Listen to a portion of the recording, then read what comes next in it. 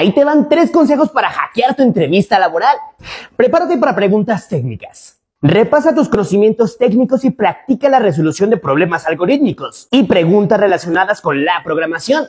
Es muy posible que te pidan escribir código en vivo, así que asegúrate de estar cómodo con el ambiente de desarrollo y practica antes en un pizarrón en una libreta.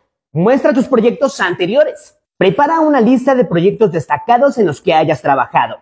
Explica tu contribución en cada proyecto, los desafíos que enfrentaste y cómo los superaste. Los empleadores valoran ver ejemplos concretos. También es útil tener una comprensión clara de las decisiones que tomaste en cada diseño y por qué las tomaste. Y destaca tus habilidades blandas. Además de tus habilidades técnicas, las habilidades blandas son cruciales. La capacidad de trabajar en equipo, comunicarse eficazmente y resolver problemas de manera colaborativa son habilidades importantes en el mundo laboral. Prepárate para hablar sobre situaciones en las que demuestres que hayas aplicado estas habilidades. También demuestra tu capacidad para aprender y adaptarte, ya que como sabes la tecnología evoluciona a pasos agigantados. Así que ahora ya lo sabes. A ponerlo en práctica.